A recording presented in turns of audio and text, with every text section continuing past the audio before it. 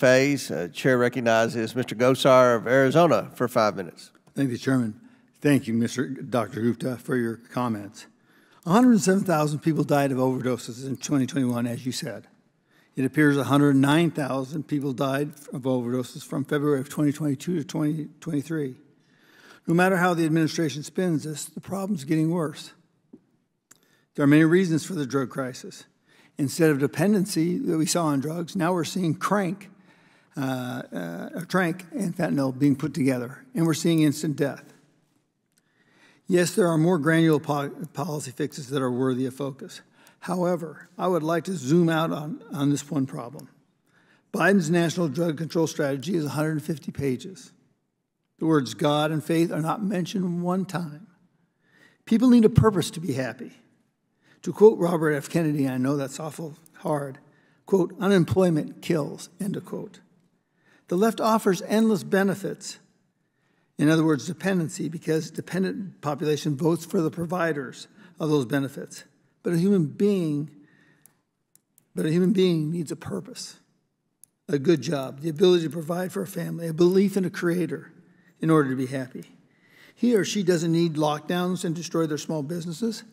He or she doesn't need free needles and syringes so they can inject themselves with deadly drugs. He or she doesn't need lower wages and more crime to thank illegal alien invasion that only raises anxiety. He or she doesn't need to fight in pointless foreign wars. Words related to race are mentioned 50 times in this same document.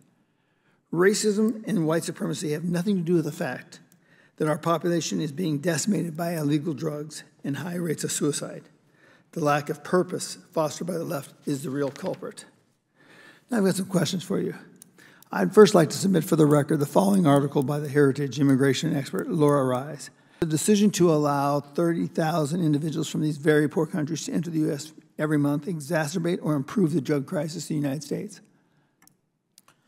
Thank you, Congressman. Um, I will say that uh, the levels have flattened. We need to do more. We need to create a recovery-ready nation, recovery-ready businesses, as you mentioned, and we need to have people find hope and purpose in their life and we're taking all aspects of it. You mentioned faith. We are meeting with faith leaders across the nation very soon next month. Um, but I, I, don't see it published. it's one thing to say that you're meeting with these people, but it's another thing to be acknowledged, right? I can tell you that this is an important piece of what we're trying to do is accomplish or bring all communities together, whether they're business, faith, treatment, public health, or public safety, law enforcement. It is important. All of us have a role to play. None of us can fix this problem by themselves. I agree. Recognize that. But allowing thousands of people who do not speak English and who will have a very hard time finding a job to enter the United States will exacerbate the crisis in the United States. But that's not all. The Biden administration is bastardizing the use of federal app originally created by the Trump administration to facilitate cross-border tourism and commerce under the Trump administration called the CBP One app. That allows illegal aliens to make an asylum appointment at a port of entry. 37,500 illegal aliens can enter the U.S. per month.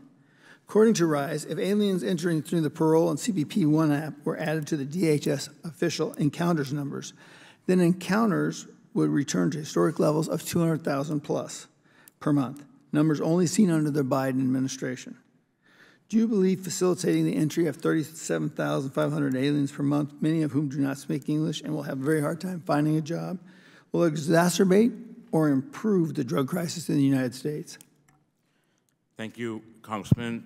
Uh, what we're trying to do is put technology at the border to make sure that where the drugs are coming through, we're stopping every piece of that drug that we can stop. But you're not, because I'm from Arizona, and we see uh, hundreds and thousands of pounds of fentanyl coming across the border. So no matter how you try to intercept it, it's going to make it worse. So let me, I got limited time.